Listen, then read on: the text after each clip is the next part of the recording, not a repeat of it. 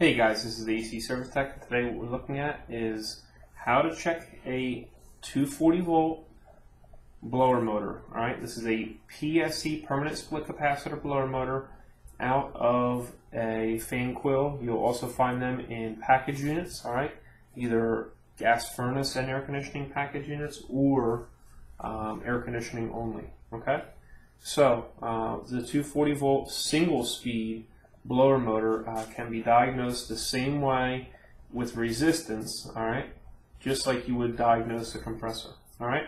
So first things first, if the blower motor is not running, all right, you're first going to be checking voltage signal, okay. You're going to be making sure that it does have voltage, all right, alternating current. After that, you're going to go ahead and check your capacitor. So what you're going to do is you're going to make sure the power's off. You're going to turn the power off, you know, pull disconnect, whatever you need to do. All right, and you're going to check your capacitor. So this particular capacitor right here is a 10 UF, okay, and it says 370 VAC. All right, these capacitors are either going to say 370 or 440. All right, so if this capacitor was bad, then you can replace it with a 370 or a 440. But just say this capacitor was a 440, then you could only replace it with a 440. All right. Uh, but it, it does say 10 UF, and UF it also stands for microfarads. It's just an old manufacturer's uh, lingo, uh, but it does mean microfarads. So you've turned the power off. All right, you verified that, and now we're going to go ahead and disconnect our capacitor. All right, now we're going to check for capacitance.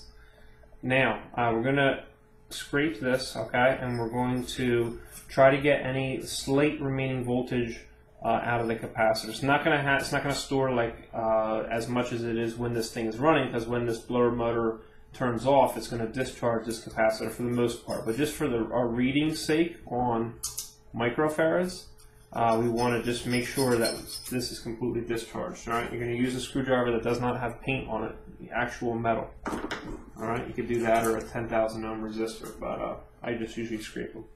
All right, and that will be for five ton systems and smaller, typically, you know, all those types of capacitors.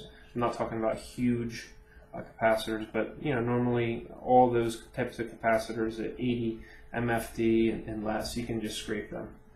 All right, so we've pressed into our terminals here, and we got 10.14 UF or microfarads. All right, so that's good. Anywhere is between uh, plus or minus 5%. So that capacitor is good. All right, so then the next step that we would do is we would check resistance of the blower motor. All right, so you want to make sure that the blower motor is off. You would have already checked this to make sure that this was free, okay? But you want to make sure it's off and that's not spinning while checking resistance values. And what you're going to do is you're going to be checking your three wires right here, okay?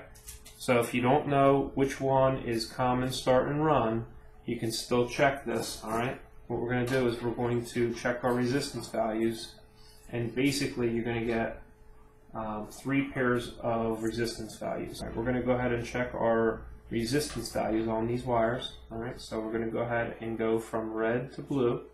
Okay. And we have 27 ohms of resistance. Alright? Roughly 27 ohms of resistance. Alright, now we're going to go from blue to black. So 27 plus 15 ohms, we'll say. So that is uh, 52 ohms of resistance. Alright? And then we're going to have our third pair, alright, is what the two pairs previous should equal to.